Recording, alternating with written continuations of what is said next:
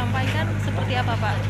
Ya, jadi eh, kami pertama-tama mengapresiasi eh, semangat dari rekan-rekan LMDH, kelompok tani hutan, ya, dan kelompok perhutanan sosial pada umumnya yang sudah eh, sangat gigih melakukan kreativitas dalam eh, mengelola hutan dan juga memanfaatkan hasil hutan.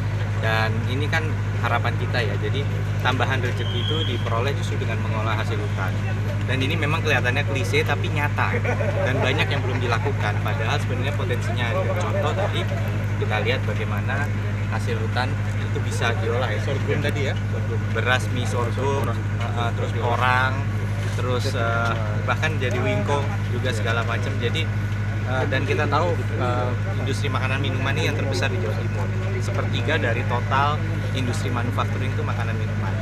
Apalagi ada kategori platinum tadi untuk kelompok usaha perhutanan sosial itu yang sudah bisa mengekspor pisang kirana, excelsa dan lain-lain. Jadi yang saya apresiasi dari Pak Kepala Dinas Kehutanan sinerginya dengan Kepala Dinas Peternakan, Kepala Dinas Perkebunan sehingga ini bisa jalan. Dan hari ini hadir Bapak Wakil Ketua Komisi B juga bahwa eh, dan Pak Asisten dari eh, Kabupaten Lamongan eh, hari ini satu penyampaian dari Bapak Presiden menyerahkan dan kami menyampaikan SK Perhutanan Sosial.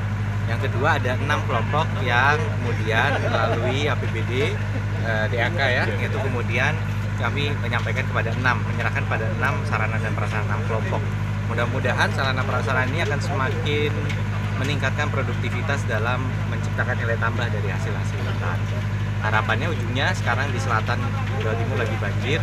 Kita harap bahwa ini akan jadi contoh bagaimana kawasan hutan itu bisa menghasilkan, tetapi kemudian tanpa eh, apa? Ya istilahnya eh, tanpa di, harus dirusak kira-kira begitu. Jadi semakin lestari hutannya dan kita harus realistis kelestarian hutan di Jawa Timur harus berdampingan dengan kesejahteraan masyarakat hutan. Kalau itu tidak dilakukan sulit. Pak Agup, kalau wilayah kritis kehutanan di Jawa Timur Nah, kira-kira bisa terlihat di mana, Pak? Jadi sudah ada pemetaannya ya Pak Kepala Dinas Kehutanan bahwa memang ada pemetaan terkait dengan kondisi tutupan lahan, vegetasi dan juga kerawanan yang ditimbulkan apabila ada kerusakan vegetasi. Nah, petanya ada ya? Ada 218 ribu.